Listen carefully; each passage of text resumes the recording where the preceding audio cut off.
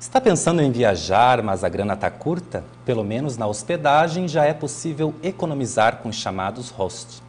Paula já conheceu nove países. Sempre se hospeda em hostels, um tipo de alojamento ideal para quem quer gastar pouco e fazer amizades. Tu pratica o inglês, ganha dicas de lugares que talvez tu não tenha visto nos livros. Então, o hostel é o lugar perfeito para tu ter as dicas mais quentes. Tudo aqui é coletivo banheiro, cozinha e áreas de lazer, até o quarto. Mas existe a opção de um privativo. Tem um custo-benefício bem melhor, né? Você tem um preço mais acessível, diferente das pousadas e hotéis.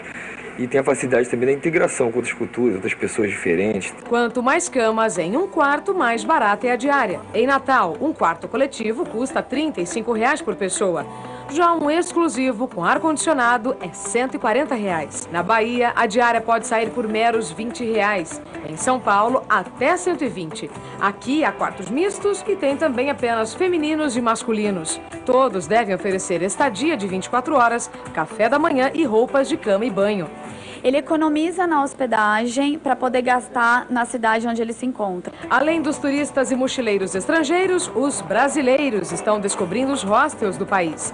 André chegou em São Paulo vindo de Aracaju e optou por este que fica em um bairro boêmio.